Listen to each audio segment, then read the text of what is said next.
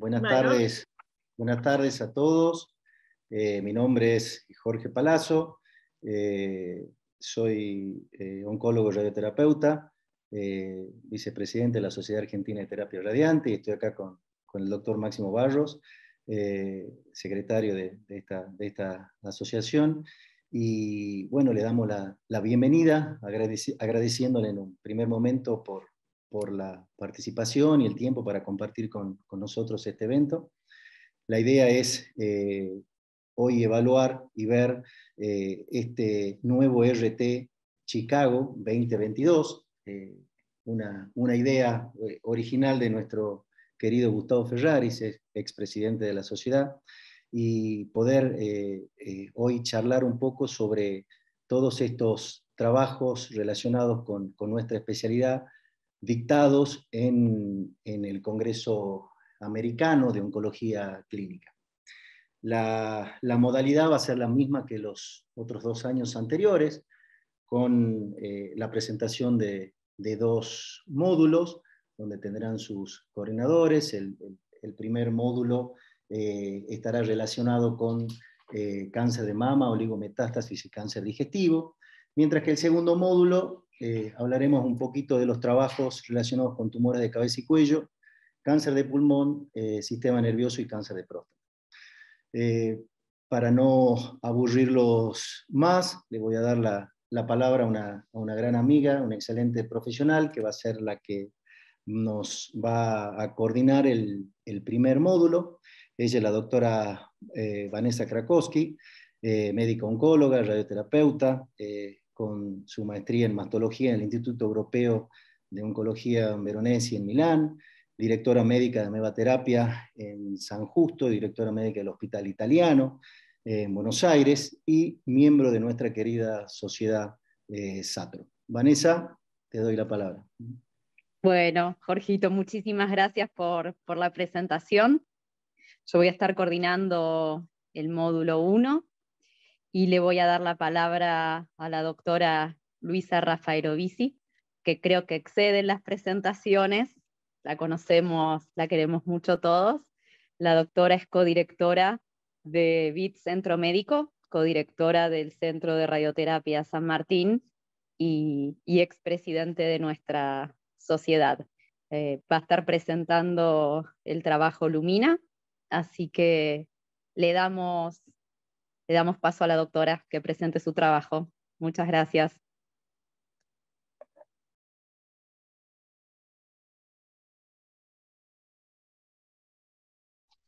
Bueno, buenas tardes. Un saludo para todos. Empezamos este Radioterapia Chicago con este primer trabajo de cáncer de mama, el Lumina. Este es un estudio prospectivo para omitir la radioterapia después de la cirugía conservadora en pacientes T1 N0 en cáncer de mama luminala. Este esta fue una presentación oral en el ASCO por el doctor Timothy Whelan del Ontario Clinical Oncology Group. La radioterapia adyuvante en cáncer de mama es una indicación habitual después de la cirugía conservadora, ya que produce una importante reducción del riesgo de recurrencia local de aproximadamente 67 o más por ciento. Sin embargo, tiene algunos inconvenientes para las pacientes como la toxicidad aguda, eritema, cansancio o la toxicidad tardía que si bien con un índice muy bajo debido a los grandes progresos en las técnicas de radioterapia, puede afectar la cosmesis. El riesgo de recurrencia local ha ido disminuyendo con los años debido a programas de screening que detectan pacientes en estadios más tempranos. Progresos y además eh, progresos en todas las otras especialidades que hacen al tratamiento del cáncer de mama y ustedes acá ven. Anatomía patológica, cirugía, tratamientos sistémicos, progresos en radioterapia. Factores clínico-patológicos como la edad, el tamaño y el grado se han ensayado muchas veces para omitir la radioterapia, pero tienen limitada capacidad para identificar pacientes de muy bajo riesgo de recurrencia que tal vez podrían evitar la radioterapia. La era genómica provee una oportunidad única para comprender la biología molecular del cáncer de mama. Y así surge subtipos intrínsecos para la recurrencia a distancia, que fueron los primeros estudios antes de enfocarse en la recurrencia local. Eh, este es un estudio publicado por el doctor Goduk en el 2010, eh, que evaluó casi 1.500 pacientes que fueron tratadas con cirugía conservadora y radioterapia y él mostró cómo eh, subtipos intrínsecos mostraron ser pronósticos de recurrencia local. Acá nosotros vemos como el luminal A y B tienen bajos índices de recurrencia, mientras el ER y los basales, este índice de recurrencia es mayor. El objetivo del Lumina fue determinar si mujeres con factores clínico-patológicos de bajo riesgo de recurrencia y subtipo luminal A por inmunohistoquímica que fueron tratadas con cirugía conservadora y endocrinoterapia por cinco años, pero sin hacer radioterapia, solo endocrino y cirugía, tienen aceptable bajo riesgo de recurrencia local a cinco años como para omitir la radioterapia. Bajo riesgo clínico patológico fueron pacientes mayores de 55 años, T1N0, grado 1 y 2, Iluminala, receptores iguales y mayores de 1, progesterona más de 20, ER negativo y Ki67 igual o menor a 13.25. El objetivo primario fue la recurrencia local invasora o no invasora y objetivo secundario el sea contralateral, la sobrevida libre y global y cualquier otra recurrencia. Eh, el diseño fue el siguiente, estudio de corte prospectivo, cuidadosamente controlado. Ellos consideran que es eficiente y puede ser muy preciso, aunque no sea randomizado. Estos son los pacientes que fueron elegidos desde el punto de vista clínico y el Luminala y todos hicieron endocrinoterapia. El Ki67 se evaluó en tres laboratorios canadienses y los resultados fueron controlados entre los laboratorios. Eh, se enrolaron todos los que tenían el Ki menor de 13 sino, y no hicieron radioterapia. Los que tenían el Ki mayor salían del TRAIA. 500 pacientes de 26 centros con un seguimiento medio de 5 años.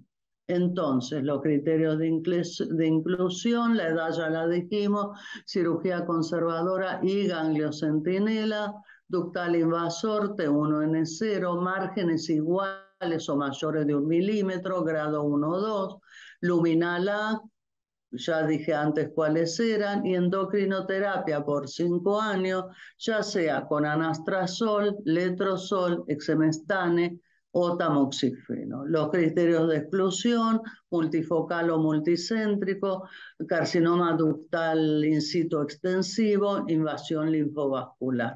El seguimiento fue hecho cada seis meses por dos años y controles y a posteriori controles anuales y mamografía anual desde el inicio.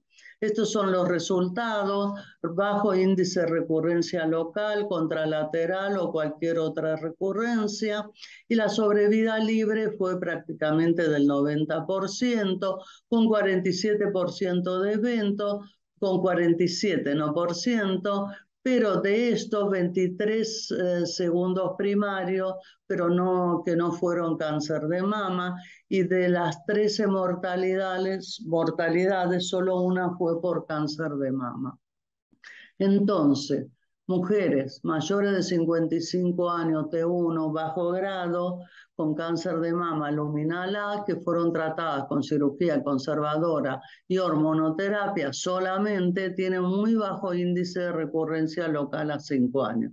Entonces, consideran los autores que la naturaleza prospectiva y controlada de este estudio multicéntrico apoya que estas pacientes de bajo riesgo son candidatas para omisión de radioterapia. Este trabajo fue discutido por la doctora Jennifer Bellon de Boston y bueno, lo tituló Misión de Radioterapia en Cáncer de Mama, estadio 1 de bajo riesgo. Ella muestra el bajo índice de recurrencias a 5 años y el intervalo de confianza del 90%. Muestra también un trabajo viejito, antiguo, eh, del doctor Hughes de la CalGB, cuyo intento también fue en ese momento ver si había un grupo de pacientes que podía ser solamente tamoxifeno. Tamoxifeno versus tamoxifeno más radioterapia y la sobrevida libre de recurrencia fue mayor cuando se asoció radioterapia.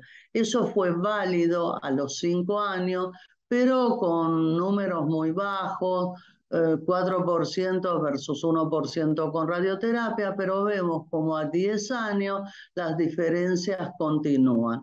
Entonces, la radioterapia continúa ejerciendo un impacto en la sobrevida libre de recurrencias local más allá de los 5 años y sobre todo estos pacientes de bajo riesgo y luminales A. Aún en cáncer de mama de muy bajo riesgo, la radioterapia reduce el índice de recurrencia.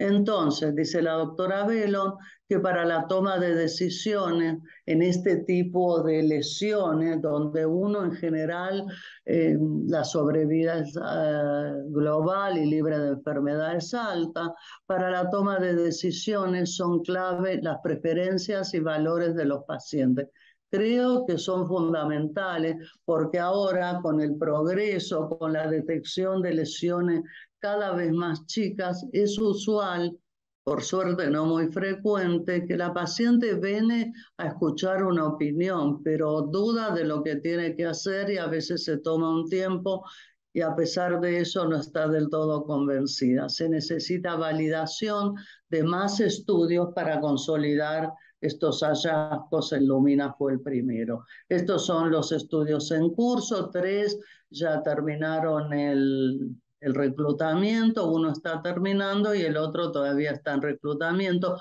Todos requieren hormonoterapia. Entonces, algunos pensamientos adicionales, muy pocos eventos en estudios individuales para análisis por subgrupo. Metaanálisis con mayor número de pacientes puede ayudar a una mejor selección. ¿Es la inmunohistoquímica combinada con factores clínicos suficiente para seleccionar pacientes como para omitir la radioterapia o necesitamos Oncotype o, o PAM50? ¿Qué hacemos entonces? ¿Omitimos la radioterapia o la terapia endocrina? En esta población de muy bajo riesgo, el bajo riesgo es de todo, de recurrencia local y de enfermedad a distancia. Entonces, en esta población de muy bajo riesgo, el riesgo de enfermedad a distancia puede ser muy bajo sin terapia endocrina. La radioterapia hipofraccionada en 15 o 16 días puede ser preferible a la endocrinoterapia. Planteó todo un tema la doctora. Nada más. Muchísimas gracias, doctora Rafaelovici, por la presentación. Vayan todos pensando preguntas que se pueden poner en el chat o en la parte de preguntas. Las vamos a hacer al final del módulo 1. A continuación va a hablar la doctora Bertoncini, una ex compañera y muy queridísima colega, médica radiooncóloga, directora médica de Semener, en Oro Verde, provincia de Entre Ríos. Ella nos va a hablar sobre tumores digestivos, cáncer oligometastásico, Así que le damos la palabra a, la doctora. Buenas tardes, mi nombre es Cintia Bertoncín, soy médica radioterapeuta, trabajo en Semener, Oro Verde, Entre Ríos. Antes de comenzar la charla, me gustaría agradecer a los directivos de la SATRO, a los organizadores de la jornada y a los coordinadores de la mesa. El módulo el cual me toca hablar es el de cáncer digestivo y comenzaremos con los trabajos publicados en cáncer de páncreas.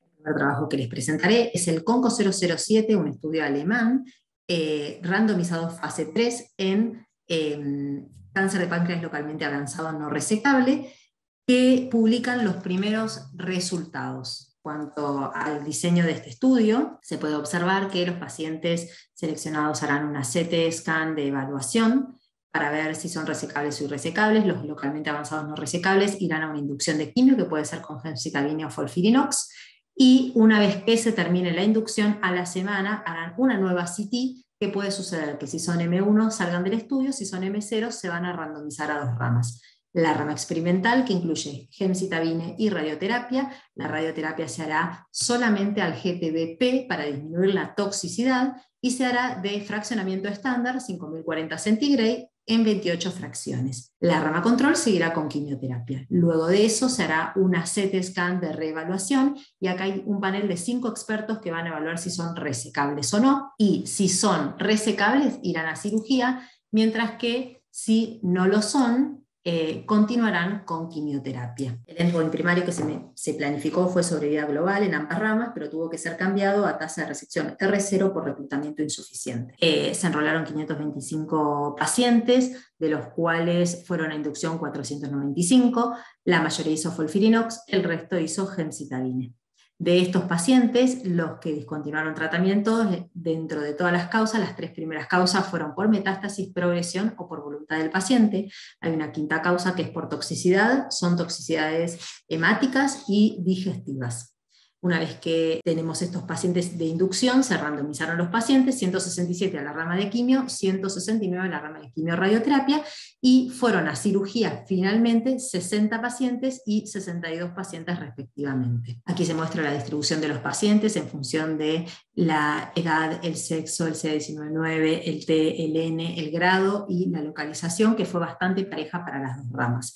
Este es el gráfico de toxicidades ya les comenté. Y esto es importante saber esta definición de márgenes porque eh, impactarán en las conclusiones. CRR1 es tener el tumor en contacto con la tinta china, CRR0 es no tener tumor en contacto con la tinta china.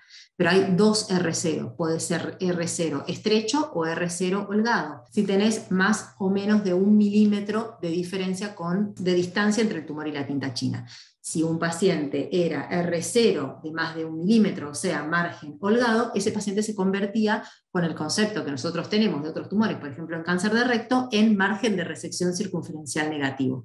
Si ese paciente era R0 estrecho o R1, él se consideraba margen de resección circunferencial positivo. Los resultados de los pacientes que pudieron ir a cirugía fueron una respuesta patológica completa de un 2% versus un 18% en la rama quimio-radioterapia. R0 fue 50% en la rama de quimio y 69% en la rama quimio-radioterapia. Un 27% de los pacientes fueron R1 en la rama de quimio y un 8% en la rama de quimio-radioterapia. Y margen de resección circunferencial negativo fueron un 25% de los que hicieron quimioterapia y un 47% de los pacientes que hicieron, lo que respecta a los gráficos, a la izquierda tenemos sobrevida libre de progresión, a la derecha sobrevida global en pacientes que hicieron quimio versus quimio-radioterapia. Se evalúan la media y a 5 años. La sobrevida libre de progresión es igual en las dos ramas, la sobrevida eh, global eh, es eh, igual en, en la media y a 5 años 4.3 y 9.6%. La sobrevida global en los 336 pacientes que pudieron ir o no a cirugía muestra que hay una clara diferencia entre los pacientes que pudieron ir a cirugía versus los que no pudieron ir a cirugía, siendo lo más significativo a 5 años, 17.5% para los que fueron a cirugía, la, la, curva verde, y 0% para los que no pudieron ir a cirugía. En los gráficos de sobrevida global dividido por el estatus de resección, se ve que margen de resección circunferencial negativo versus margen de resección circunferencial positivo, la sobrevida media fue 36 meses y 18 meses, y a 5 años 35.9 6.9% versus 9%. En cuanto a R0 y R1, R0 26, 26 meses y 17 meses R1 y a 5 años 27.3% en los R0 y 8% en los R1. Rojo y verde son pacientes, rojo, incompleta cirugía o que no pudieron ir a cirugía, verde son pacientes que eh, no fueron eh, randomizados. Como conclusión, el endpoint primario, agregar quimio radioterapia, aumenta significativamente la tasa de R0 y por ende lleva a los grupos a resecables. La tasa de R1 se reduce significativamente con quimio-radioterapia.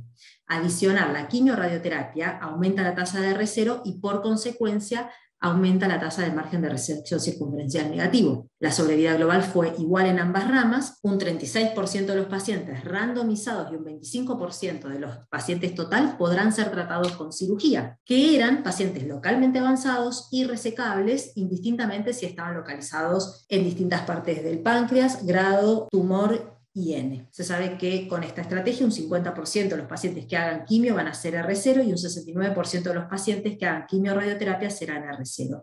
Y la sobrevida a 5 años será diferente en aquellos que pudieron hacer cirugía versus no, 17.5 versus ningún paciente vivo de los que no hicieron cirugía a 5 años ser R0 y tener margen de resección circunferencial negativo, o sea, de más de un milímetro, son los factores más importantes para los sobrevividores a largo plazo, 5 años. En general, el concepto tiene que ser inducción de quimio, agregar quimio rayos, si es factible cirugía, y ahí van a oscilar entre un 9.6% de sobrevida global a 5 años y en los mejores casos seleccionados, 26.9%.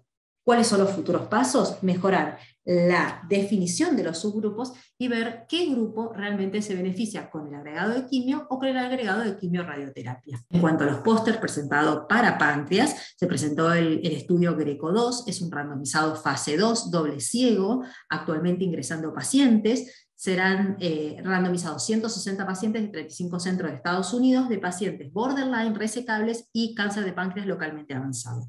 Las ramas son rucusopacen 100 miligramos versus placebo, endovenoso, el rucusopacen 15 minutos previo a cada aplicación de CBRT. El rucusopacen, el mecanismo de acción, actuar como mimético de la dismutasa, aumentando los niveles de peróxido de hidrógeno en las células tumorales y la radioterapia que se realizará son 5 fracciones de 10 Gray con una dosis biológica equivalente QD2 de más de 100 Gray.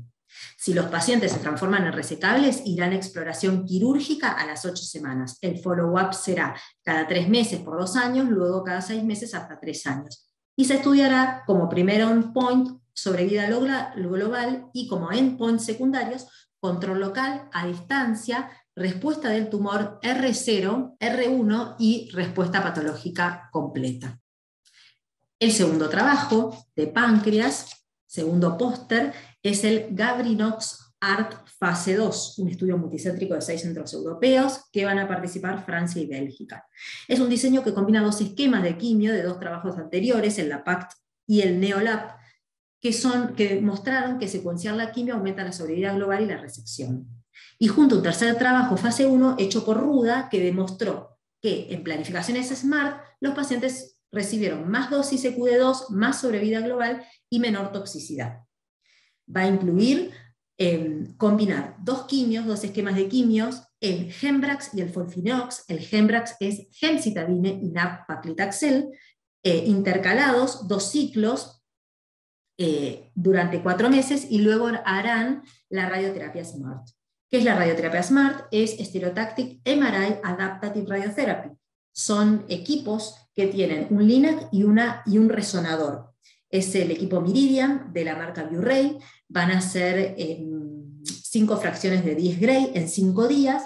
Y lo que dicen es que em, al tener un sistema de imágenes de resonancia se ven mejor los tejidos blandos y se puede hacer radioterapia adaptativa SBRT. Va a haber un centro DAMI, control y monitoreo de replanes, intratratamiento, y el objetivo de este trabajo primario es evaluar la no progresión de Garbinox a cuatro meses, con criterios RESIST. Y en la segunda secuencia, o sea, en la parte de SMART, evaluar la tolerancia al SMART, la no progresión, las toxicidades, y el éxito de este trabajo se considera si el paciente completa ambas secuencias de tratamiento.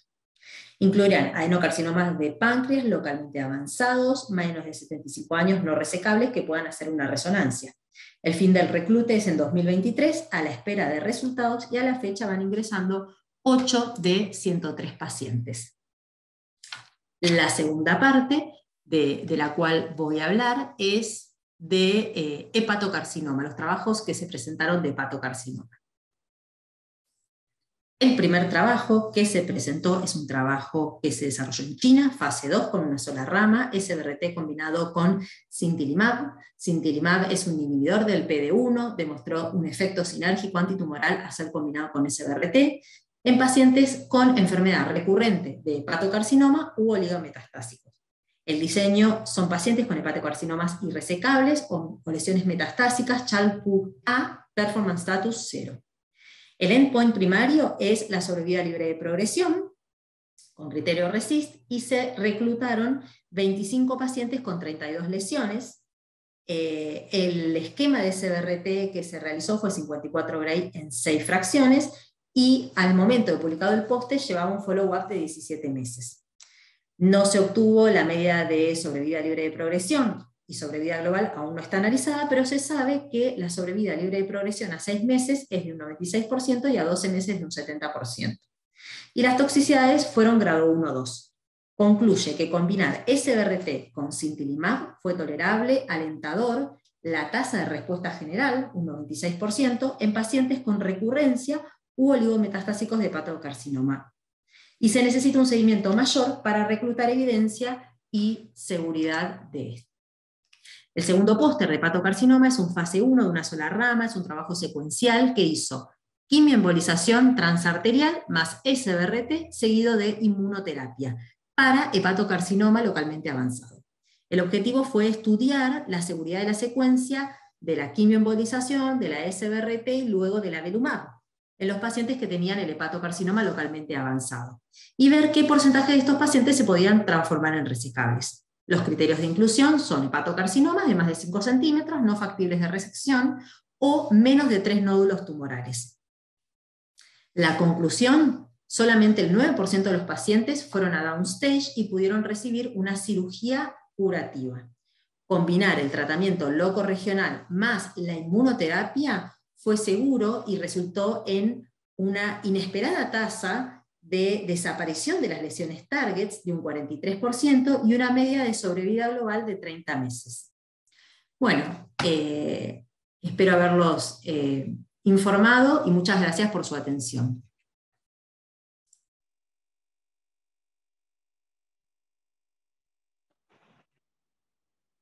Bueno, muchísimas gracias a la doctora Rafael Vici, a la doctora Bertoncini por, por las presentaciones, la verdad que excelentes y vamos a dar comienzo a, la sesión de preguntas sobre las presentaciones. Están todos invitados nuevamente, ya sea a través del chat o del apartado de preguntas y respuestas.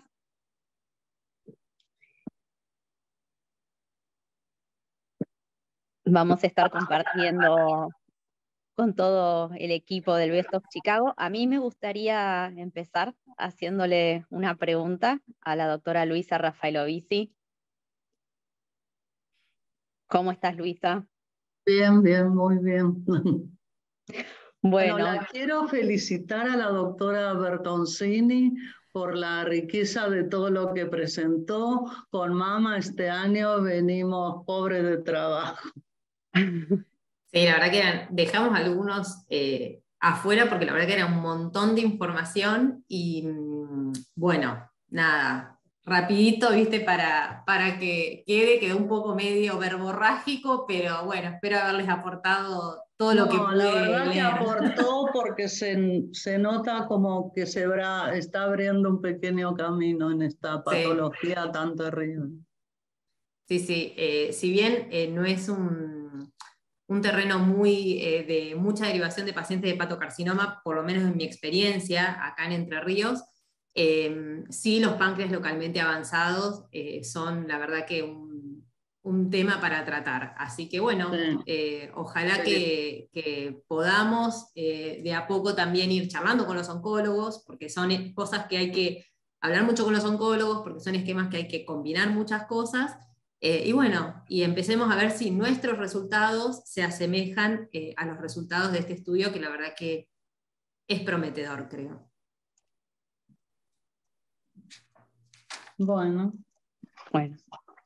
Bueno, yo quería hacer una pregunta a Luisa, que algo ya anticipó en la presentación de Lumina, ahora que estamos en la era de la, medicina de precisión y ser cada vez más conservadores y optimizar la indicación de los tratamientos, teniendo el antecedente con otros trabajos que con el pasar de los años, a 10 años y aún más, las curvas se van abriendo con el beneficio de la radioterapia adyuvante en el tratamiento conservador de la mama, si a la vista de lo que presentaron a 5 años, hoy podría hablarse de un estándar.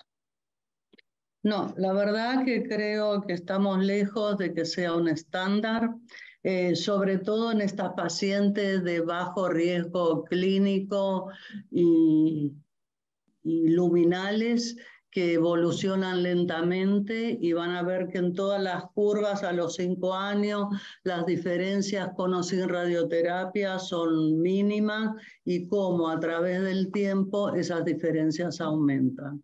Entonces creo que cinco años para cáncer de mama en este grupo de tan bajo riesgo es extremadamente bajo. Perfecto. Bueno, por una cuestión de tiempo también, eh, hubo otro trabajo muy importante de Pat Whitworth que habló sobre carcinoma ductal in situ y la omisión de la radioterapia. Otra pregunta que quería plantear, este trabajo, comentándolo brevemente, eh, lo que propone es individualizar tres grupos de riesgo a través de eh, siete genes y cuatro características clínicas, como ser el tamaño tumoral, la palpabilidad, el margen de resección y la extensión, y en base a eso se saca un score que, si no me equivoco, es de 2.8, y encuentran pacientes de bajo riesgo, pacientes de alto riesgo y un tercer grupo que está validado por una vía del, del CARRAS, que es de riesgo de residuo de enfermedad en lo que respecta a la recaída ipsilateral en la mama. Entonces, eh, creo que una disyuntiva que siempre nos pasó con el carcinoma ductal in situ es que no sabemos si lo estamos tratando de más o si lo estamos tratando de menos. Eh, de los estudios del sueco, de la bueno, son numerosísimos. Siempre se encontró el beneficio de la radioterapia, lo que nunca se pudo caracterizar, o sea, caracterizar un grupo que se beneficie de la no radioterapia. Entonces, eh, la pregunta es si a partir de este trabajo, si es suficiente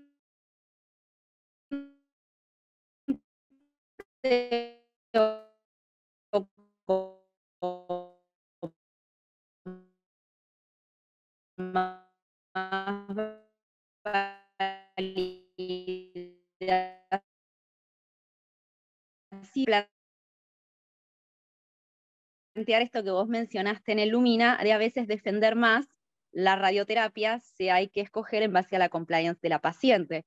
Em, y en este grupo de riesgo de enfermedad residual, la hormonoterapia no tendría ningún sentido, no así la radioterapia.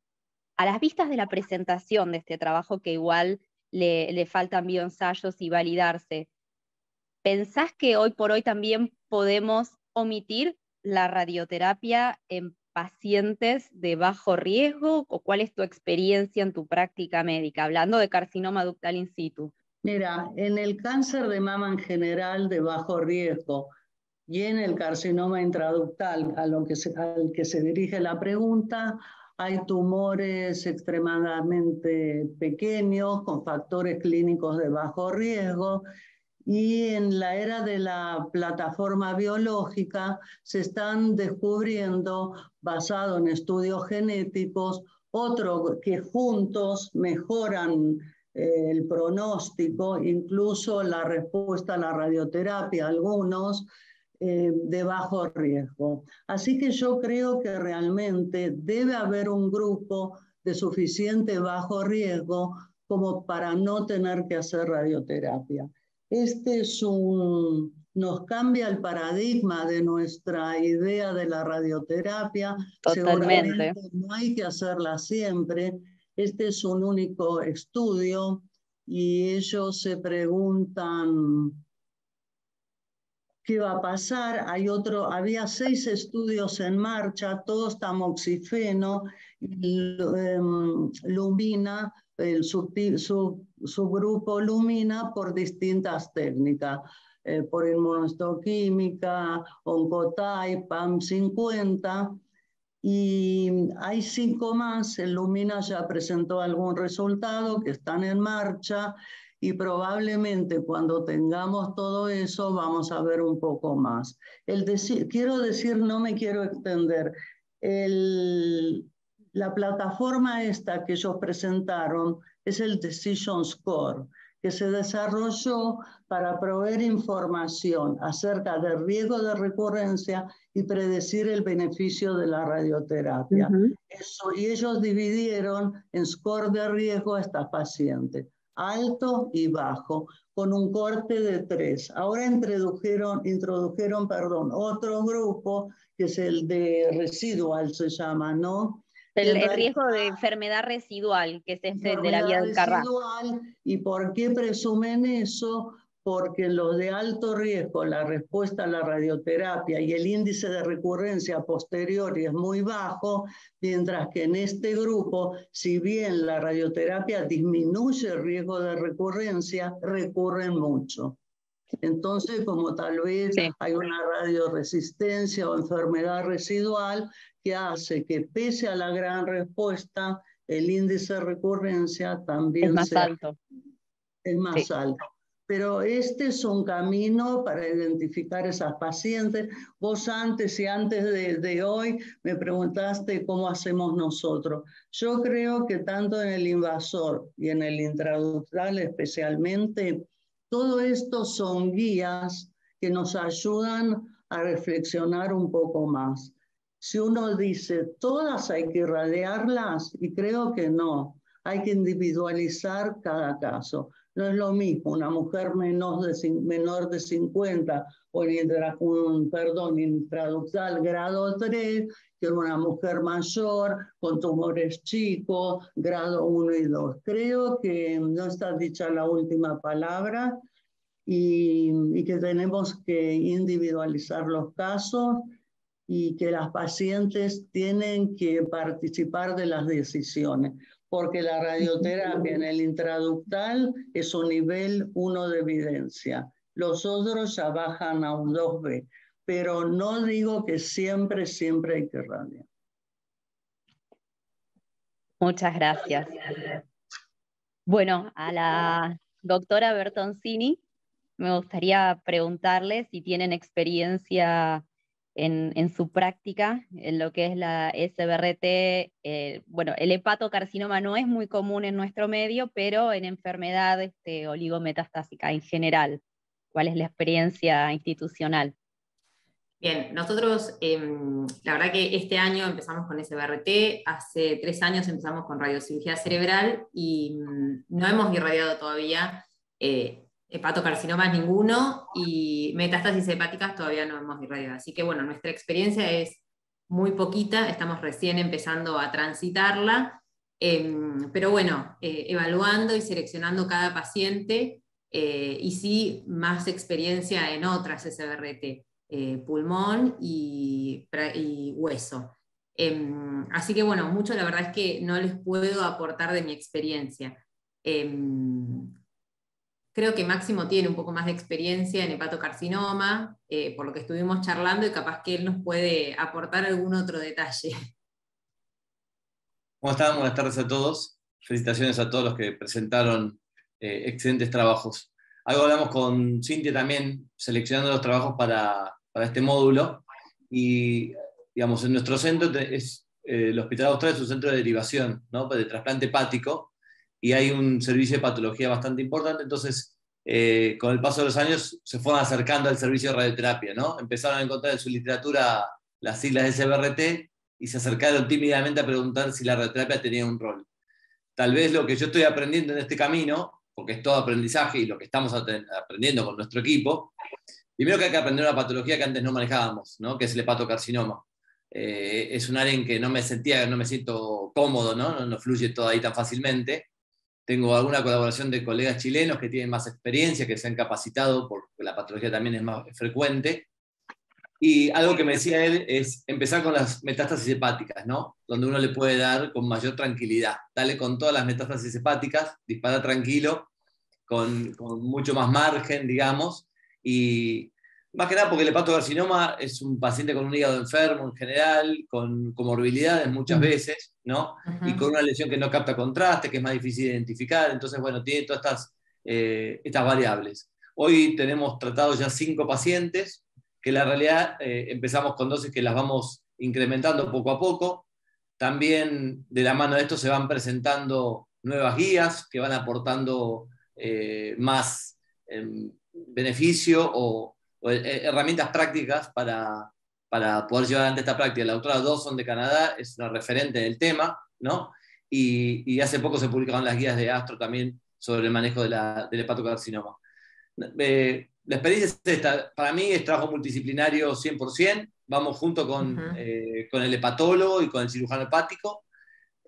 todo indica que la radioterapia, la SBR, tiene un rol claro, ¿sí? Y el otro aspecto que creo que, que muchos ya lo conocen por el manejo de la radiocirugía, muchos lo van conociendo con la SBRT. Creo que la variable y el mensaje es que el radioterapeuta se tiene que sumar mucho al seguimiento de este paciente. Ya no es un paciente que uno lo puede ver aisladamente en el tratamiento y olvidarse.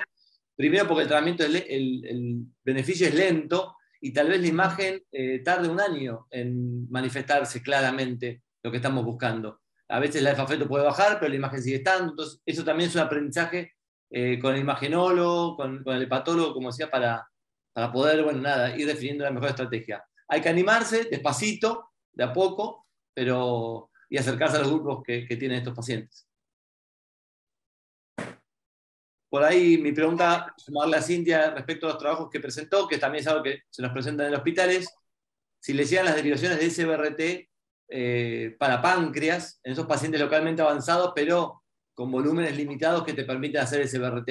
Si tiene experiencia tal vez en Entre Ríos y, lo abro a la mesa también las consultas. Eh, mira, acá en Entre Ríos yo lo que veo es que están todavía con la otra parte, que es mucha quimio en los localmente avanzados, tratando de buscar llevarlos a resección. Em, y si no, lo que nos llegan son los pacientes que, los que nos llegaban antes, los que ya fueron operados con factores de riesgo, de recaída local que por distintas cuestiones no pueden hacer quimio eh, o pueden hacer quimios en algunos ciclos y ahí nos los derivan a radioterapia eh, o directamente en la recaída, la recaída en, lecho y es esa en la que colaboramos eh, y bueno, y esa también es una en donde tendría rol, pero no, no, no nos derivan estos pacientes, como dice el estudio, Em, y la verdad es que son tentadores los números, por lo menos para, para probar, que son, por ejemplo, en el, en el, estudio alemán, son fraccionamientos estándar que estamos acostumbrados, de a 1.8, no es que uno se tiene que ir a una eh, radiocirugía extracraneal como son los otros dos estudios que están reclutando pacientes actualmente. Eh, ni hablar el que tiene el LINAC con el resonador, que ese, bueno, hay que ver en qué momento llega a Argentina, pero em, son fraccionamientos estándar, lo que hay que también cambiar un poco la cabeza de delimitación, porque los campos de páncreas son grandes, los que, los que nos enseñó el RQG, y ahora en estos trabajos son eh, solamente el gross tumor volume. Eh, y bueno, y hay que tener eh, aceitado lo que vos decís, en todos estos nuevos pacientes es importante la comunicación de todos los profesionales que trabajen. Eh, ya sea del cirujano que te lo selecciona como resecable o no resecable, el imagenólogo que te da detalles, nosotros que aportamos un montón de, datos y de seguimiento también, eh, porque eh, eso va a hacer que todos juntos hagan un buen tratamiento en ese paciente. Creo que Diego tiene la manito levantada, debe querer hacer una pregunta o participar. Hola. Me meto un segundo. Perdón que no estoy panelista acá, pero me meto un segundito. Porque, como dice Maco, bueno, los hepatocarcinomas, sí, la curva de aprendizaje la hicimos primero con, con metástasis hepática, está, bien eso, y hemos tratado varios hepatocarcinomas, que en el primer mundo sí es el puente entre, hasta hace el trasplante, pero en nuestro medio, o por lo menos aquí en Córdoba, es muy raro que el paciente consiga hacer un trasplante después. son gente alcohólica, o sea, es un escenario complicado, cirrótico. Y los pacientes que hemos logrado hacer ese BRT, se ha logrado un buen control de la enfermedad, con buena tolerancia durante y en el seguimiento, y son gente que terminan falleciendo por progresión de la enfermedad, pero hemos logrado muchos años de, control en los que hemos tratado. Nos llevamos muchísimos pacientes, pero unos 10 pacientes hemos tratado con, con hepatocarcinoma y, y la verdad que, que, es factible. Hay que respetar un poco más los constraints porque no es lo mismo el hígado sano que un hígado cirrótico, pero se puede hacer cumpliendo, si uno, si ya irradia metástasis hepática, ya puede irradiar también estos tumores. Eso nomás.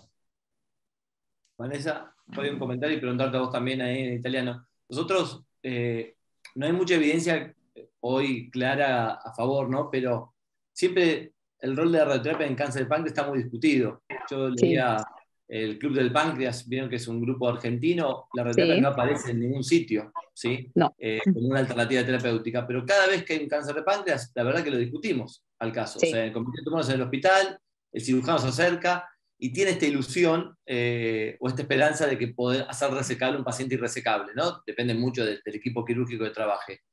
La realidad es que nosotros nos sentimos muy cómodos en el hospital haciendo ese BRT cuando se puede hacer, cuando el volumen lo merece.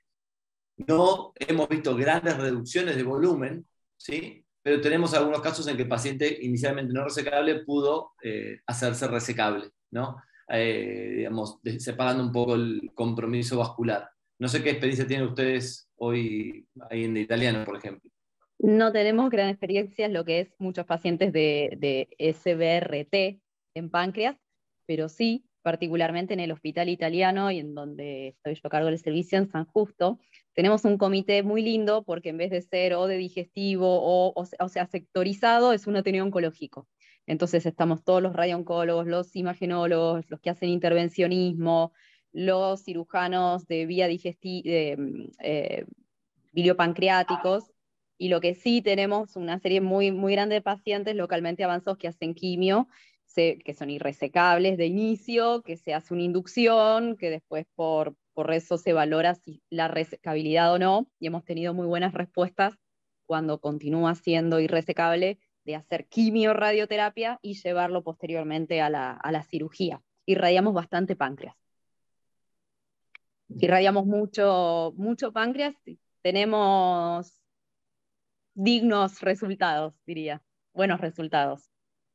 Mucho más que lo que vemos en las guías, ¿no? Digamos, el rol creo que es mucho Absolutamente, cuando lo vas a leer, eh, no, no se menciona mucho. Yo me acuerdo que cuando estuve en el Instituto de Milán, la que hacía mama hacía páncreas también, la doctora Leonardi. Y la discusión era que te decía, bueno, no, no, no, se hablaba de CBRT en ese momento, pero decía, el páncreas no se irradia, es como tipo un fracaso terapéutico de la radioterapia, lo usamos paliativo para el dolor, pero es como que lo que se lee, lo que se escucha es otra cosa, pero en la práctica se lo discute mucho. Y bueno, a ver, el hospital italiano parte, la parte que es eh, bio, eh, ay, de vuelta, biodigestiva, todo lo que es páncreas, hígado, todo, tiene mucho peso y, tratamos mucho páncreas.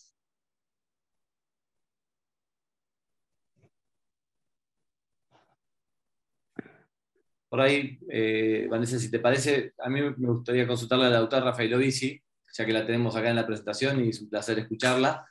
Eh, nada, un mensaje. Hay una tendencia, algo ya hablar, ¿no? Pero esto de ir sacando la, radioterapia. Siempre se busca sacar la radioterapia, ¿no? Hacer en menos. Tendencia en muchas patologías, pero en mama lo vemos muy particularmente. Creo que en todos los comités también se presenta esto. Bueno, podemos no hacer la radioterapia.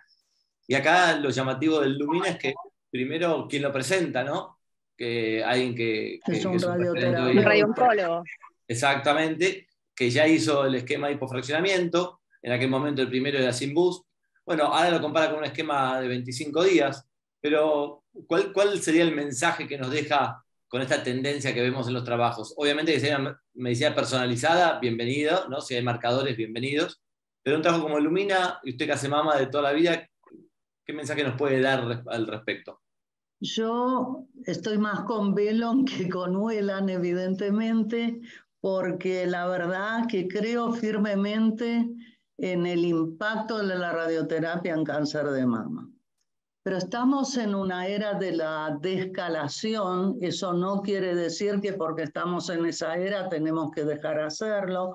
Por ejemplo, en el intraductal no tenemos que olvidar que el 50% de las recurrencias son invasoras y a pesar de que dicen que no impactan la sobrevida, hay varios trabajos que últimamente los muestro en mis charlas que muestran, si uno agarra el total de la población, es poco el impacto en la sobrevida, pero si uno elige solamente los, eh, las recurrencias invasoras en distintos de los cuatro pilares de los estudios que hay, ellos muestran en forma significativa y en estudios retrospectivos, que son un montón, que aproximadamente un 25, un 30% de los que recurren como invasores se mueren. Entonces creo que hay que ser muy atento, incluso en el trabajo de Vuelan, yo lo puse en una línea, inconveniente de la radioterapia, pero él empieza diciendo grandes inconvenientes de la radioterapia. Y si uno mira todos los inconvenientes actuales de las distintas armas terapéuticas que, que tenemos, la verdad que el eritema, la fatiga, alguna contractura, no es nada al lado de otras patologías que se usan con porcentajes de beneficio muy inferiores a los de la radioterapia para resumir, yo no quiero decir, porque estaría mal y no lo creo, que todos se deben irradiar. Creo que hay subgrupos que podrían no irradiarse. Estamos en un camino ahora con la genómica, con todo, tratando de identificar esos grupos. Creo que no es un estándar bajo ningún concepto. Insisto mucho, yo estoy en algunos grupos de trabajo donde se evalúa uno por uno. Hay que tener en cuenta mil cosas. Hasta de dónde viene remitido el paciente. Y creo que hay algunos por edad, muchas cosas que tenemos que tener en cuenta que por ahí podrían no irradiarse. El paciente tiene que saber hoy por lo menos que la radioterapia es el estándar y compartir con esos bajos riesgos, porque si no, no estaríamos hablando, y asumir junto con los médicos, el mastólogo o el cirujano y nosotros la mejor decisión. No sé una discusión, perdón, ¿no? que a veces nos planteamos en la unidad de mastología es que en, alguna persona mayor, que también habría que discutir mayor, porque algo que a mí me hace mucho ruido en el Lumina son los 55 años. A mí en lo personal me molesta un poquito. Entiendo que mayor de 55 se está refiriendo a posmenopausia, pero bueno, eh, corriéndonos un poco la radioterapia sigue teniendo algún tipo de carga tabú por el cual dice, bueno, le hacemos anastrozol o tamoxifeno y ¿por qué no le hacemos esto y le omitimos la radioterapia? Y siempre, a ver, yo creo que tiene muchos más efectos adversos el anastrozol, las artralgias, el metabolismo cálcico óseo, con, lo que se, con el advenimiento de nuevas técnicas o lo que ha avanzado la radioterapia, eh, que todavía hay mucho del orden del mito y del tabú, que no sé por qué motivo, eh, y hagámosle hormono, no le hagamos rayos, cuando también está más demostrado que es más difícil la adherencia a un tratamiento de 5 años que a tratamientos de 15, o hoy tenemos los hipofraccionamientos extremos de 5 días, si queremos, que es mucho más fácil y das control, por, siendo que el otro tiene más este, toxicidad. Y como vos decís, muy bien decís, que sí, que el eritema, que la fatiga, que no hablando de grandes volúmenes, ¿no? De solo un volumen mamario con las imágenes. Tenemos, bueno, 3D, intensidad modulada, radioterapia volumétrica, con tantas cosas que hacer, con tan poco impacto. Eh, yo me sigo preguntando por qué, pero sigue siendo un motivo de discusión en nuestros Ateneos. Y quiero, ya que vos te referiste a la edad, los otros trials que están estudiando esto con factores clínicos y genómicos, este, la edad es un, es un tema, pero yo creo que es un error y es un error importante, porque hoy en día la calidad de vida de los pacientes en general mejoró y muchos trials no incluyen pacientes de más de 70, pero hoy en día una paciente 70, 75 y hasta de 80 tienen una excelente calidad de vida, hacen gimnasia, viajan y algunos tienen novia o novio. Lo digo esto no es un chiste, porque quiero decir que una paciente sana, sana, aparte del cáncer de mama, a los 80 años, a los 75 puede vivir tranquilamente 15 años más. Si ahora se a hacer, lo digo esto porque lo hablo, ahora se viene a hacer radioterapia, viene por sus medios, no le trae grandes problemas y a lo mejor en unos años la tienen que traer entre cuatro los hijos, la ambulancia, o hacer una mastectomía como extremo. Entonces creo que tenemos que ser muy cautelosos antes de aceptar en esas discusiones, sí, sí, no le hagamos. El otro día tuve un caso de una paciente de 78 años que en la biopsia salió la enfermedad. Bueno, no lo hicimos, pero no estoy tan segura que esté bien pero uno tiene que tener la, la, mente abierta. También antes todos hacían vaciamiento y ahora no lo hacen. Así que vamos en un camino que hay que identificar muy bien a ese grupo de pacientes. Y ya está. Bueno, yo creo que podemos dar por concluido. No sé si a alguien le queda alguna pregunta. Muy linda, muy linda la mesa de discusión y podríamos darle para adelante con el módulo 2. Creo que estamos en horario ya. ¿Qué les parece? No sé, si Cintia quiere decir algún comentario más que antes la cerramos y ya pasamos al otro módulo. Vanessa, ¿te parece? No, felicitaciones a la doctora Luisa eh, y Vane también. Siempre eh, lindo escuchar eh, todo lo que estudian de mama y nos aportan a todos. vamos al próximo módulo. Vale, muy bien. Gracias, Vanessa. Cintia y doctora Rafael Luis, muchas gracias este, por la preparación del módulo. excelente, la felicito a las tres. Ahora vamos a seguir con el módulo 2, así sin corte ni nada. Ya se incorporó el doctor Diego Fernández hace un rato, así que ya lo vieron. Radio-oncólogo del Centro de Anfunes en Córdoba y es docente en la Universidad Católica y Nacional de Córdoba. Así que, Diego, te dejo todo a cargo para continuar. Gracias, Marco, por la presentación. Gracias por la oportunidad de coordinar el segundo módulo. Y voy a presentar a los que van a, presentar los, repetimos, a los mejores trabajos, que el doctor Otero, que es radioterapeuta en BIT Centro Médico, que nos va a dar un trabajo sobre eh, cáncer de pulmón en células pequeñas y otro de nasofaringe.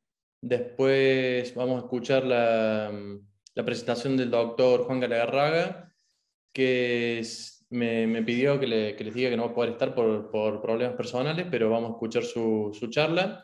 Él es coordinador del, Servicio de Radioterapia del Hospital Privado de la Comunidad y staff del Centro de Oncología y Radioterapia de Mar del Plata. Y vamos a ver con él tres trabajos de cáncer de próstata. Y por último, otro marplatense, que es el doctor Ignacio Samón, también amigo, eh, radiooncólogo, radiooncólogo del Centro de Oncología y Radioterapia de Mar del Plata. Y nos va a eh, presentar un par de trabajos de meduloblastoma. Empezamos. Buenos días a todos, yo soy el doctor Javier Otero. Antes que nada quiero agradecer a los organizadores del evento y a la SATRO por la invitación. Vamos a pasar al primer de los trabajos, es una comparación lo que es calidad de vida y toxicidad en los pacientes ingresados en el CalGB 3610. Como podemos recordar, este es un trabajo que comparó dos ramas de radioterapia, una rama de eh, altas dosis versus un esquema estándar de hiperfraccionamiento en pacientes de, small cell lung cancer, y también vamos a recordar que no hubo diferencia en lo que es sobrevida global ni en lo que es recaída regional. Por lo cual este, este, su análisis, este trabajo lo que busca es ver cuál de ambos brazos tiene un mejor perfil de toxicidad y calidad de vida para poder elegir a nuestros pacientes. A los pacientes se los somete a diferentes cuestionarios, cuestionarios de qué es calidad de vida, trastornos esofágicos y de ansiedad, se los completa en forma basal y en 52 semanas posterior a haber comenzado la radioterapia. De 646 pacientes del CalGB se recolectaron 342, de los cuales el 87% completó en forma basal los cuestionarios y son un 71 a nivel de la semana 52. Bien repartido ambos brazos, a nivel de los resultados podemos ver que en lo que es el primer cuestionario de calidad de vida vamos a ver un detrimento o un empeoramiento significativamente menor en el brazo de altas dosis a la semana 3, pero eh, como podemos ver, este, este, empeoramiento o detrimento se hace mayor a nivel de eh, la semana 12. En lo que es eh, los cuestionarios con respecto al esófago, vamos a ver que es bastante parejo, aunque en la semana 52 podemos ver que va a ser eh, mejor o mayor beneficio en el brazo de esquemas de altas dosis o de una fracción día. Con lo que es esofagitis aguda y la dificultad para tragar fue peor y mayor en lo que es en la semana 3 para el brazo del hiperfraccionamiento, aunque si uno lo compara en la semana 12, vamos a ver que es mayor para el brazo de una fracción día o esquema de altas dosis. Otro cuestionario de calidad de vida, en este caso europeo, como ustedes pueden ver, fue mejor para el brazo de eh, el esquema de altas dosis, sobre todo en la semana 3. En lo que es los cuestionarios de ansiedad y depresión, fueron menores para el brazo de, altas dosis, de una fracción día. En lo que es cuando se eh, los consultó por la conveniencia de los tratamientos, si bien ambos tratamientos, son casi un 71% eh, respondieron que fue bastante conveniente, pero eh, cuando se comparan ambos brazos fue mayor conveniente el brazo de los 70 Gray, o sea, altas dosis a una fracción día, por lo cual como conclusión vamos a ver que ambos tratamientos y ambos brazos son bien tolerados. lo que es el esquema de una fracción día presenta mayor calidad de vida, sobre todo en la semana 3, pero empeoraría la semana 12. Y eh, este esquema, el esquema de una fracción día, se percibió como eh, menos inconveniente, o sea, mayor aceptado para la eh, población de pacientes. Nuestro segundo trabajo es un trabajo fase 3, randomizado, multicéntrico, de origen chino, que comparó un esquema de radioterapia sola versus un esquema de quimio-radioterapia en pacientes con carcinoma nasofaringeo de bajo riesgo. Para tener en cuenta, estos pacientes estadio 2, el tratamiento estándar es la quimio-radioterapia concurrente, más o menos inducción o adyuvancia, pero la evidencia que soporta esta, esta conducta, digamos, es ya bastante regada, es de la era de 2D. Eh, a su vez, tenemos que tener en cuenta que la utilización de la IMRT en esta población hoy en día carecía de bajo poder de evidencia. Algo que sí sabemos es que la eh, quimioterapia basada en cisplatino, concurrente con radioterapia, aporta grandes eh, porcentajes de lo que es toxicidad y efectos adversos. Y como decía antes, los trabajos que testearon la IMRT sola y que la compararon versus la quimioradioterapia eran más que nada aquellos de trabajo fase 2 o retrospectivos, pero que eh, si bien eran trabajos fase 2 o retrospectivos, vemos que había un beneficio, es decir, o no había diferencia, mejor dicho, en lo que es la sobrevida global y la sobrevida libre a la progresión entre los dos esquemas de tratamiento. Por lo cual este trabajo lo que buscó es eh, comparar lo que es la quimioradioterapia versus la IMRT y eh, ver que la IMRT sola, sin eh, quimioterapia, va a proveer los mismos valores de no inferioridad en lo que es la sobrevida libre a la progresión a tres años con un menor eh, perfil de toxicidad. Bien, y se recolectaron pacientes, estadio 2 y eh, T3 en SRM0, se excluyeron aquellos pacientes con masas cervicales mayor a 3 centímetros o invasión de los eh, niveles ganglionares bajos con presencia de extensión extracapsular y aquellos pacientes que poseía mayor a 4.000 copias de eh, Epstein-Barr virus en el ADN. Se dividieron a dos ramas, una rama de IMRT sola versus una rama de esquema estándar, IMRT más, más cisplatino concurrente. Em, y el endpoint primario, como dijimos antes, en un trabajo de no inferioridad, con un endpoint primario de sobrevida libre a la recaída, eh, y evaluaron también a nivel secundario sobrevida global, sobrevida libre a la recaída loco regional y metástasis a distancia, a su vez también los perfiles de toxicidad y de calidad de vida. Se recolectaron una buena cantidad de pacientes, bastante bien divididos ambos brazos. Algo para destacar es que el 75% de los pacientes eran en estadio 2 y casi un 60% eran N1.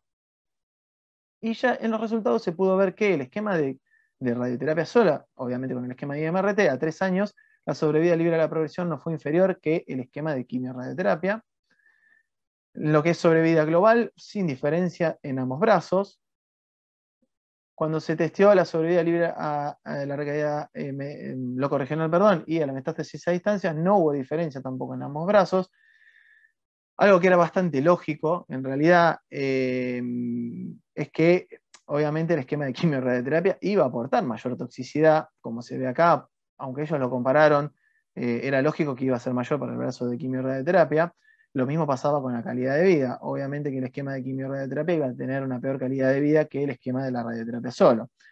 Por lo cual, hoy en día podemos decir que este grupo de pacientes, es decir, los estadio 2 y los T3N0 M0, son pacientes con baja tasa de, recaída, pero que a su vez eh, estos pacientes tratados con IMRT solo tienen lo, misma, digamos, sobrevida y eh, control local que eh, el esquema de quimio-radioterapia, por lo cual el esquema de IMRT solo no fue inferior, con una menor toxicidad, obviamente, y una mejor calidad de vida de nuestros pacientes, por lo cual los pacientes con T1, T2, N1 y T3, N0 pueden ser tratados con IMRT sola.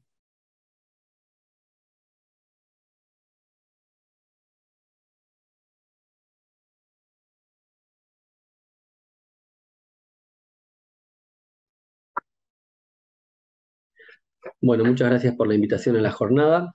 En este caso voy a presentar tres trabajos de cáncer de próstata. El primer trabajo es una presentación oral que se llama Salvenza, que es un fase 2 doble ciego, randomizado, que incluyó pacientes eh, con radioterapia de salvataje post-prostatectomía, que fueron randomizados a recibir el tratamiento de rescate convencional con ensalutamida o con placebo. Em, los endpoints son la supervivencia libre de recaída bioquímica, la supervivencia libre de metástasis y la recaída local. Se eh, randomizaron 86 pacientes, ambas ramas muy bien balanceadas, con 65 años de promedio, 90% caucásicos, T2 35%, T3 65% en ambos casos, R0, R1 50 y 50 en ambos casos también, con un PCA basal de 0.5, eh, menor a 0.5 en el 70% de los casos y el 30% de los casos mayor a 0.5 también en ambas ramas.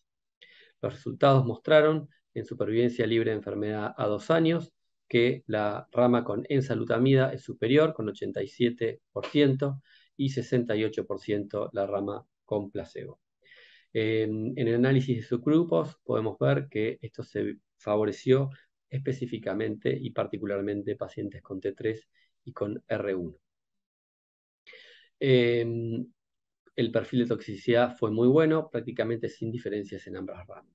Por lo tanto, el SALV-ENSA nos muestra que la monoterapia con ensalutamida mejora los resultados en términos de supervivencia libre de recaída bioquímica en pacientes que van a recibir radioterapia de rescate post-prostatectomía con un perfil de toxicidad muy favorable, sin impacto hasta la fecha en supervivencia libre de metástasis o supervivencia global, probablemente por el pobre enrolamiento.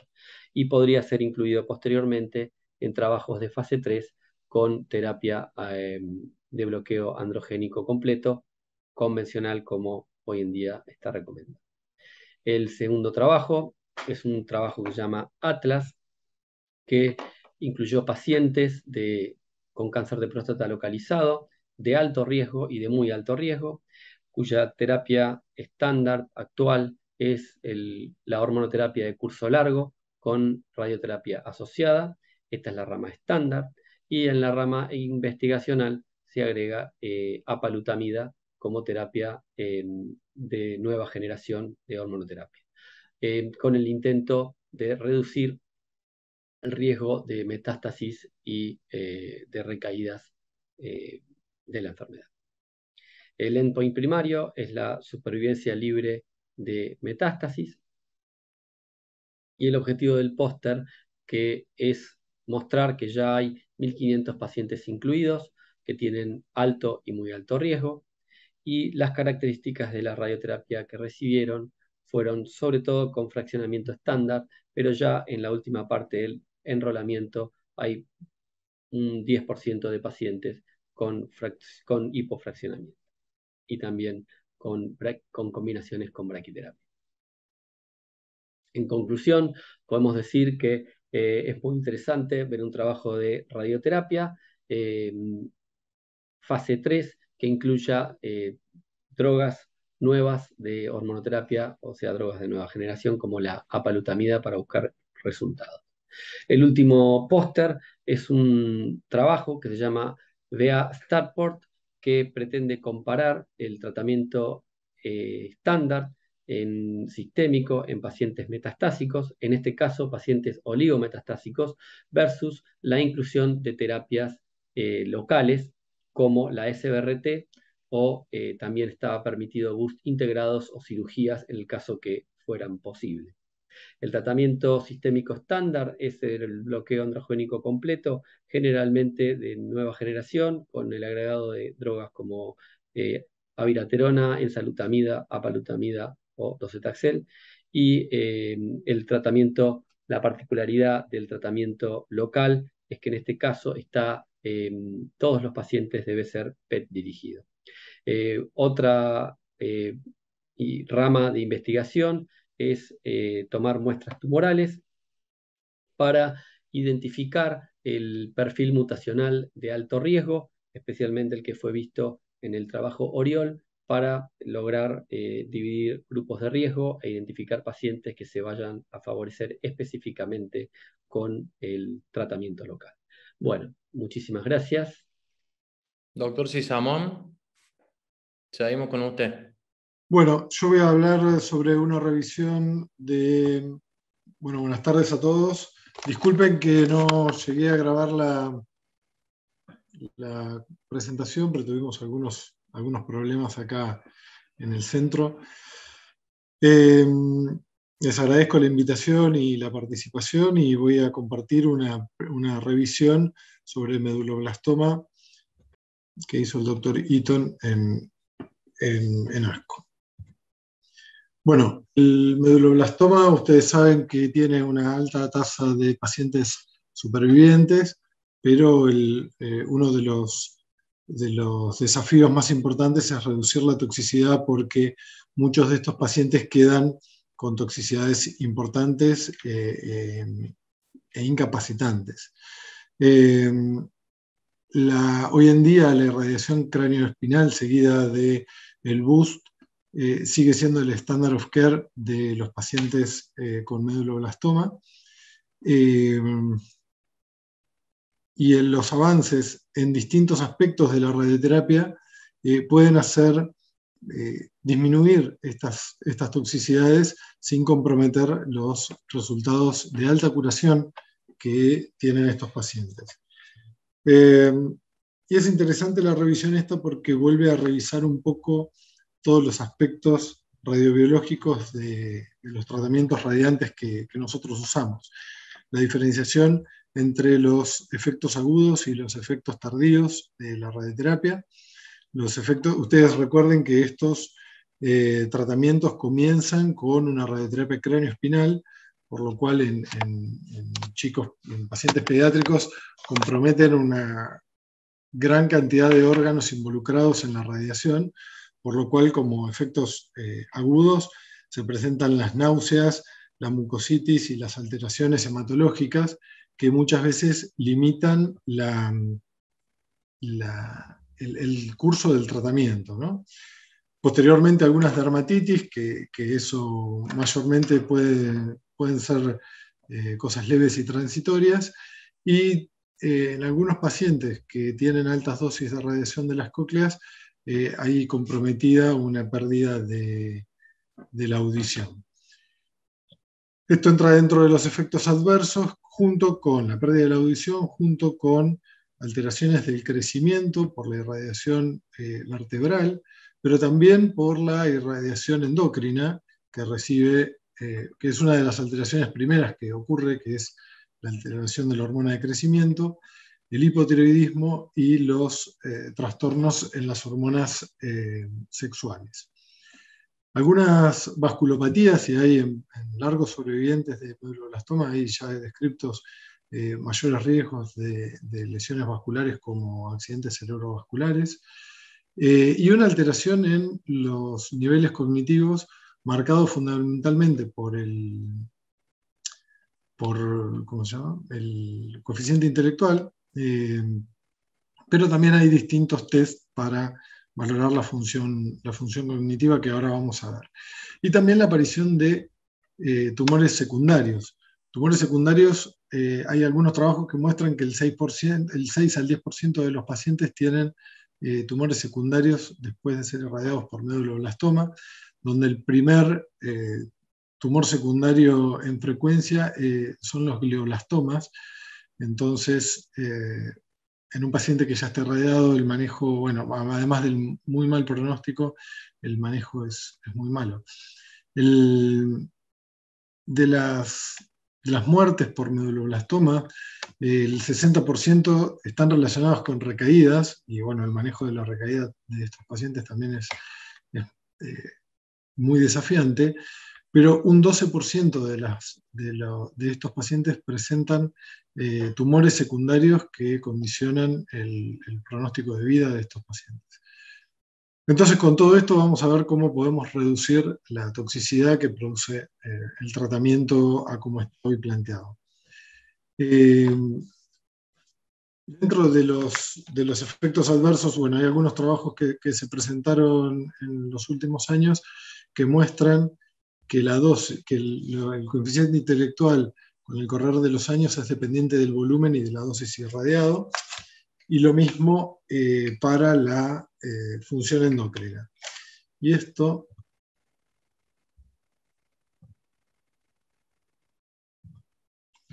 Y esto lo, volvemos a ver en esta diapositiva donde están eh, disgregadas los distintos tipos de función endocrina y cómo la protección que produce la terapia con fotones, que ustedes lo ven en las barras de color morado, eh, perdón, los fotones son las moradas, los celestes, los protones, como la reducción en la irradiación de, los tejidos endocrinos disminuye el, el compromiso o la deficiencia de, estas hormonas, donde la mayor eh, diferencia está, como habíamos hablado, en el, en el, hipotiroidismo, en las hormonas sexuales y en, eh, y en la hormona de crecimiento.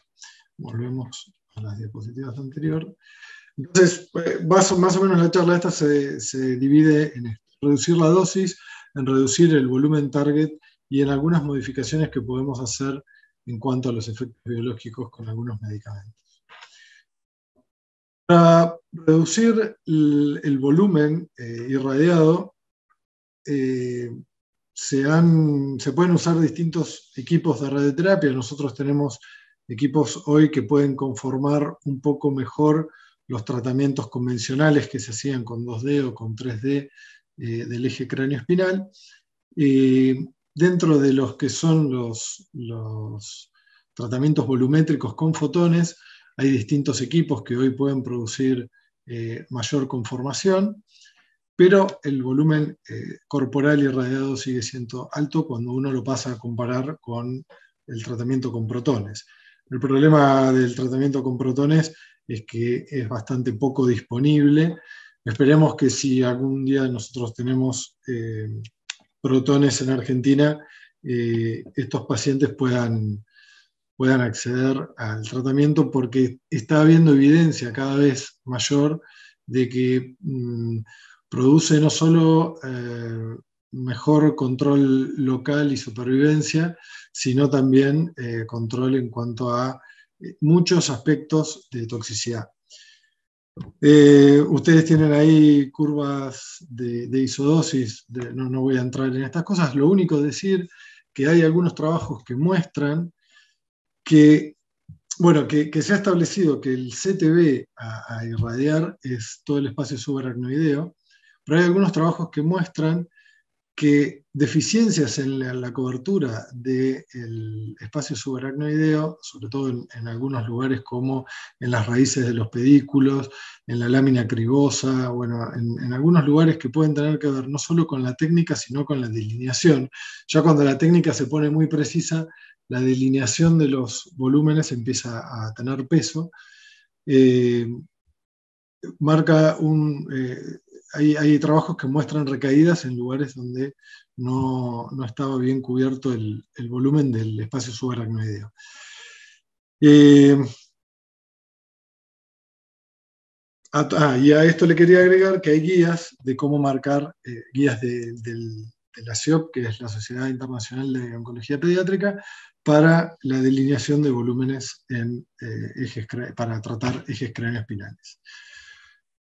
Bueno, Continuemos entonces con esto. Bien. Eh, esto es un trabajo que mostró cómo los protones disminuyen y esto es algo que a mí me, llama la atención porque por lo general el volumen cerebral está eh, bien irradiado en tratamientos eh, con fotones, pero hay una diferencia entre los niveles de inteligencia y de coeficiente, de coeficiente intelectual en el, en el tratamiento con protones contra fotones. Una de las, de las, críticas de esto es que los pacientes con fotones tratados tenían algunos tratamientos eh, un poco heterogéneos en cuanto a la, dosimetría. Eh, pero bueno, eso es, es algo también propio del tratamiento con fotones. O sea, no, no solo eran tratamientos volumétricos, sino que había mezclas también de tratamientos tridimensionales. Pero otra cosa que les quería mostrar es que aparte del coeficiente intelectual global, eh, una de las cosas que se altera en la línea de, fotones con el paso del tiempo tiene un, decremento en, un detrimento en eh, la memoria de trabajo. Esto es uno de los tipos de exámenes que, están involucrados en el coeficiente intelectual, pero que eh, limita a los pacientes en su, en su desarrollo escolar y en su adultez para, funciones cotidianas. Lo que hablamos del compromiso endocrino y que los protones producen cierta protección eh, en cuanto a la toxicidad endocrina, y también eh, se ve, se ha visto que los fotones, perdón, que los protones producen menor linfopenia. La linfopenia ya la vimos relacionada con, mejor pronóstico en otros tumores, por ejemplo, lo hablamos eh, para el glioblastoma también alguna vez. Eh, pero también, y esto lo menciono más adelante, fíjense la diferencia de la cobertura en el volumen vertebral entre los protones y el BIMA. Los protones pueden, pueden proteger gran parte del cuerpo vertebral, sobre todo eh, de, la, de, la, columna dorso-lumbar hacia abajo, y eso puede estar involucrado en producir menor linfopenia, pero también menor toxicidad hematológica global. Eh, la reducción, eh, aparte de la conformación, la reducción del volumen del boost, esto ya, está, ya lo hemos visto previamente, de pasar de irradiar la fosa posterior a el boost eh, del lecho quirúrgico en los pacientes que tienen un riesgo estándar o menor. Algo importante o interesante para remarcar de estas curvas es que siempre, independientemente del tratamiento, los eh, pacientes pediátricos más chicos, los que están marcados en la línea verde son los de 3 años, tienen mayor toxicidad que los de 7 años, que vienen en la línea roja. Entonces, eh, bueno, y esto es lo que les mencionaba de la protección de los cuerpos vertebrales con, fotones, esto, con protones. Esto tiene mm, otras ventajas que están en estudio y, para que aparezca evidencia, pero también de menor esofagitis y menor dosis integral y de riesgo de segundos eh, tumores malignos que todavía no está, eh, no está mostrado que para meduloblastoma el uso de protones tenga menor incidencia de tumores malignos. la evidencia está con, otras con, otros, con el tratamiento espinal en general, pero no para meduloblastoma. Y por último, agregar que hay algunos pacientes en el último año, eh, en el último año no, en los, en los últimos 10 años, que han reducido, eh, que se ha encontrado en cuanto a los niveles moleculares, perdón, en cuanto a los estadios moleculares, un grupo de menor riesgo donde la disminución de la dosis del cráneo espinal podría tener lugar. Estos son estudios que están en, en, seguimiento, pero ya han presentado algunos, algunos datos interinos que muestran que estos grupos del WNT y, el grupo SHH tienen una mejor evolución, menor nivel de recaídas y aparentemente con dosis de 18 Gray en el cráneo espinal eh, y menores eh, dosis de quimioterapia o quimioterapias menos intensivas podrían tener el mismo eh, tratamiento, el mismo control local y supervivencia. Hasta ahora, todas las veces que se ha intentado disminuir la dosis del cráneo espinal, empeoraban, aumentaba el número de recaídas y empeoraba la supervivencia. Quisiera haber un subgrupo de, buen pronóstico o de, mejor, de menor riesgo en donde esto podría tener lugar. Por ahora estos son estudios que están en curso. Eh, y por último, eh, como en otros tumores involucrados en el sistema nervioso central, el uso de la memantina parece disminuir las alteraciones neurocognitivas. Es el trabajo de memantina. El resumen entonces, que la, la radiación craneoespinal sigue siendo el estándar of care, que el uso de los protones y la mejor conformación del, espacio, del tratamiento del espacio subaracnoideo eh, parece mejorar, o sea, mejora la, toxicidad relacionada con, los tratamientos, que disminuir también el volumen del bus eh, focalizado al, lecho quirúrgico. Eh, hoy se puede usar en los pacientes con riesgo estándar, no, está, no es adecuado para los de alto riesgo que tienen metástasis eh, residuales y pero, pero los pacientes de riesgo estándar son la mayoría, entonces hay que usarlo y lo que todavía está en estudio es este mejor pronóstico que, parecen tener algunos patrones moleculares de meduloblastoma, el uso de memantine y otros moduladores biológicos que están en estudio. Y bueno, eh, también hay, hay mucho desarrollo en, el, en tratar de identificar y hacer eh, tratamientos más personalizados en base a distintas cuestiones de biología molecular, eh, eh, rearreglos cromosómicos, genéticos y, tratar de personalizar cada vez más estos tratamientos. Pasamos a las preguntas, así no, no, nos seguimos pasando. vamos, primero quería hacer un comentario y una pregunta. Mientras tanto, el que quiera va, haciendo las preguntas en el chat y yo después las leo. Eh, del doctor Otero. El primero que habló del trabajo de pulmón, el CalGB 30610. Eh, ¿Cuál de esos dos esquemas que, estuvo mostrando usa él en nuestro medio o, está más familiarizado a usar? Era una de, las preguntas que le hago a Javier. ¿Qué tal? ¿Cómo andan? Em, en realidad en nuestro medio lo, utilizamos más el esquema de una fracción diaria, ¿sí? altas dosis. Eh, si uno compara este trabajo eh, con respecto a lo que es toxicidad y calidad de vida, eh, no había diferencia entre los dos grupos, aunque el brazo de altas dosis era mejor. y si uno va al trabajo que se presentó el año pasado, el CalGB, tampoco había diferencia en sobrevida global. Entonces, tenemos eh, dos esquemas em, iguales, ¿sí? en lo que es sobrevida global, igual en toxicidad, pero más conveniente para nuestros pacientes. ¿Por qué? Porque tenemos pacientes que viajan bastante para, hacer el tratamiento y hacerlos venir dos veces por día, como era el esquema hiperfraccionado, me parece bastante incordioso, tanto para la logística del centro como para el paciente. ¿no? Este, nosotros estamos más, más cómodos y más familiarizados con el esquema de una fracción diaria. Y todos en general, porque es más conveniente para, creo que para todos.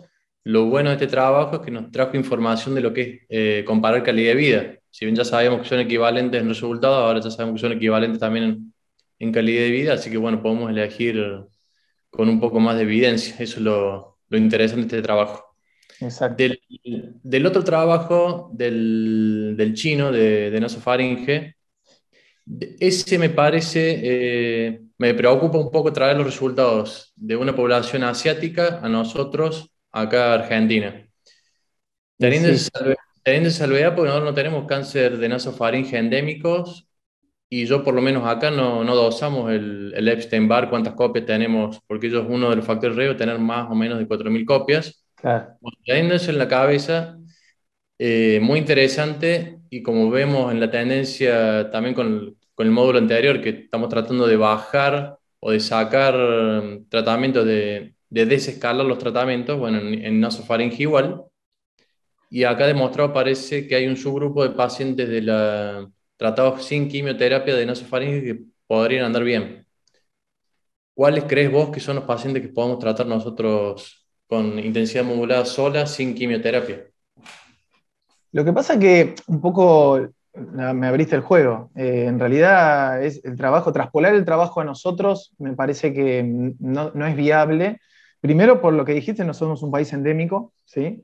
Eh, los que es países no endémicos tenemos, los tenemos tres grupos diferentes. El Epstein-Barr positivo, eh, que podría entrar en el trabajo, y digo, pero podría lo, tomo entre comillas.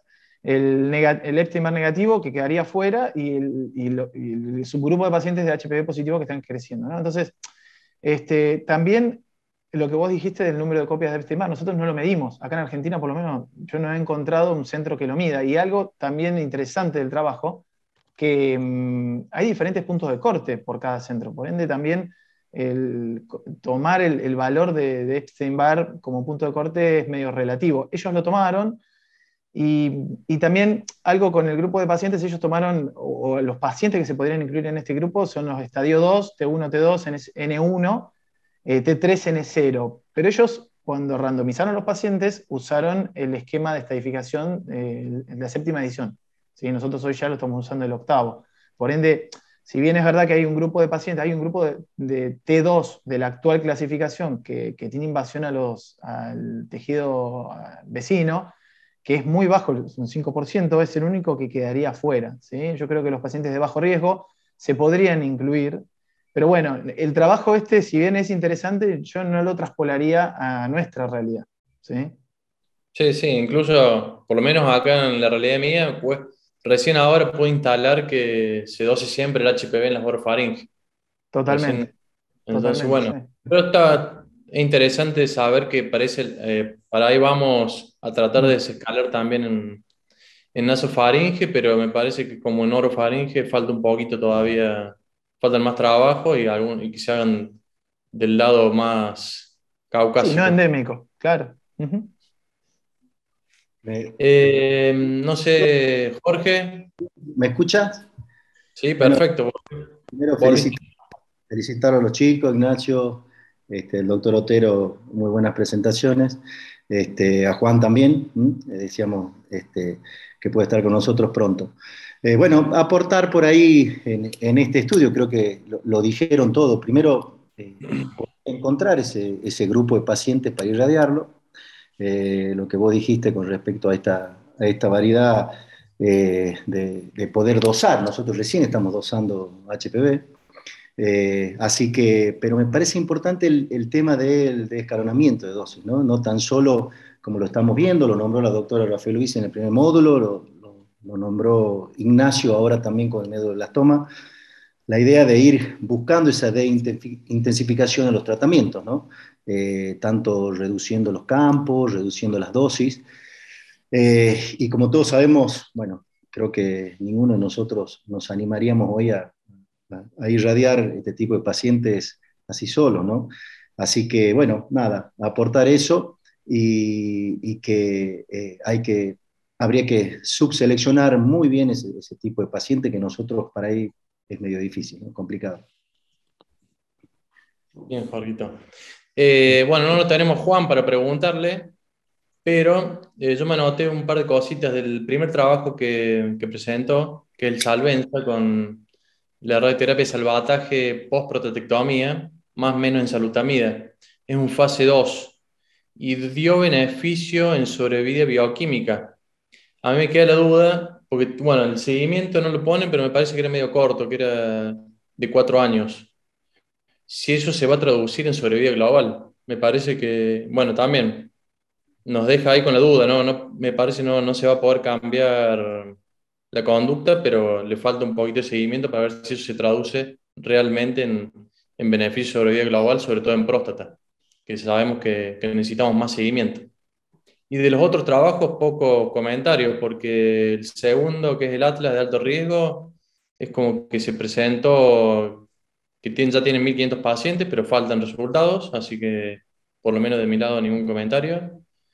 Y, y, del último, bueno, tener, tenemos más evidencia del uso de la SBRT en las oligometástasis, en este caso más específico de lo que es cáncer de próstata.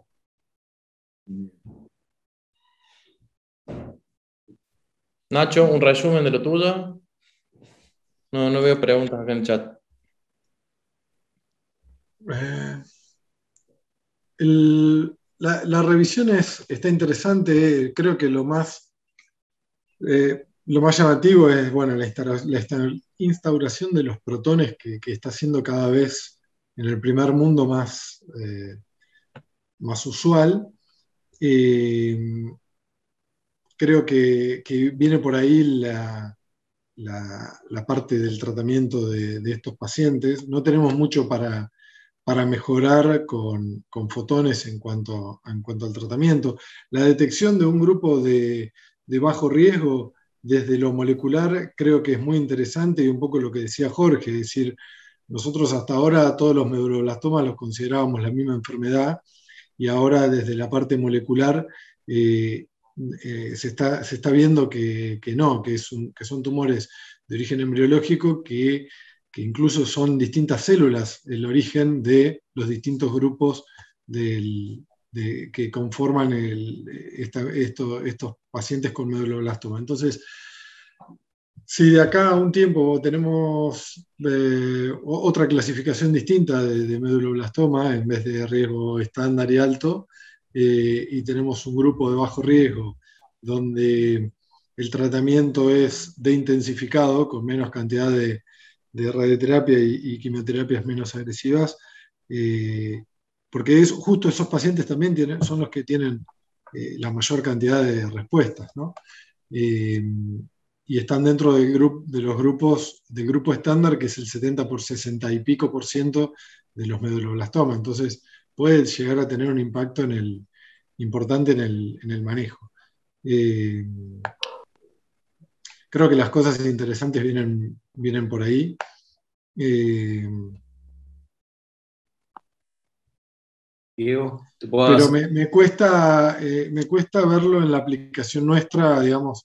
Extrapolar eso, a nuestra práctica. A nuestra, a nuestra práctica clínica mm, todavía hoy. Mm. Bien. Por ejemplo, la guía de conformación de volúmenes para cráneo espinal está interesante. Cuando nosotros hacíamos eh, los pacientes pediátricos con la tomoterapia en Madrid, eh, todavía España no tenía protones y todos los pacientes pediátricos iban a, la única tomoterapia que había y, era un trabajo enorme ese porque un tratamiento la tomoterapia puede tratar hasta un metro sesenta de largo del paciente en un campo espiral. Eh, era, un, trabajo enorme el de delineación de, volumen ahí, no había segmentación automática todavía, y, bueno, pero viendo la evidencia esa vale la pena, pero bueno, eso hoy en día acá en Argentina pocos pueden eh, hacer un tratamiento de eso. Y, los que no sé si la tomoterapia que, existe en Argentina lo hace. Eh, desconozco eso, si alguien sabe o si alguien trata eh, de forma conformada, no, sé si hay alguien del Garraham escuchando y que se pueda conectar, pero si alguien, si, están haciendo con BIMAT tratamientos conformados, eh, evitando cuerpo, y evitan los cuerpos vertebrales, no, no se evita porque se mete en el, No llega. No, pero creo es, mucho, es una técnica mucho más fácil, más fiable con BIMAT que, que con 3D. Te evitas todo eso. todos esos gaps que siempre que eran un dolor de cabeza. Sí, no, no, seguro. Y, aparte de la toxicidad intestinal y... Sí, no, todo. Eso, eso sí, comparó con 3D, nada que ver. Sí. Pero obviamente que no tenemos, es lo que tenemos acá.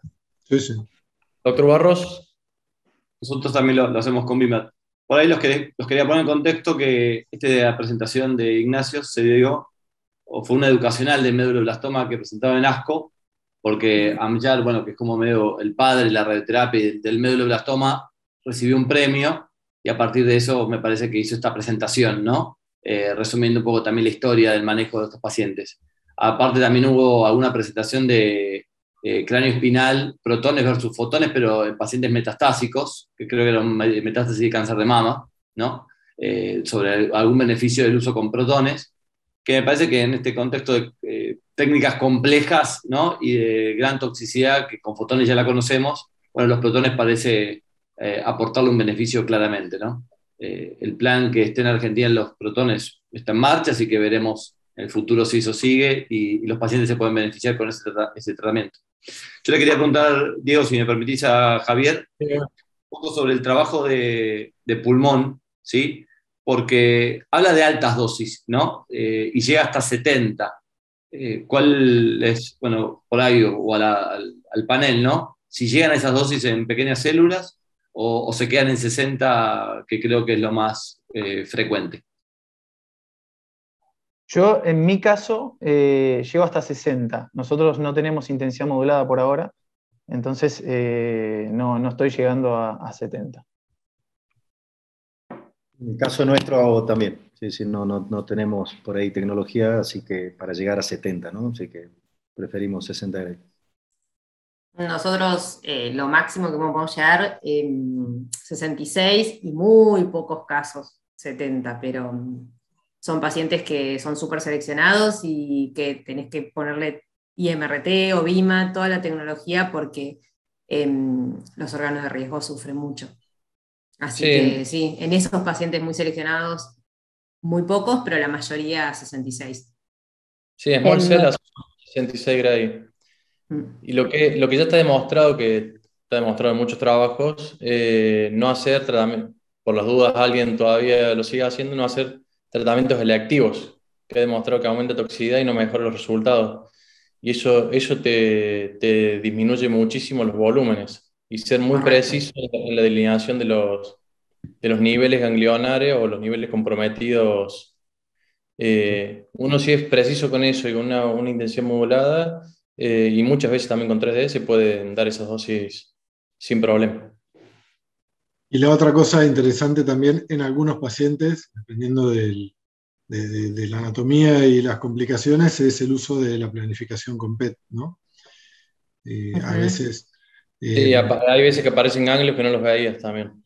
Con o ganglios o atelectasias o derrames o, que uno, uno termina viendo después irradiaciones de todo un lóbulo porque, y no todo el lóbulo es tumor sí, sí, cuando hay grande eclasia. Demorar al paciente una semana más y, planificar con PET.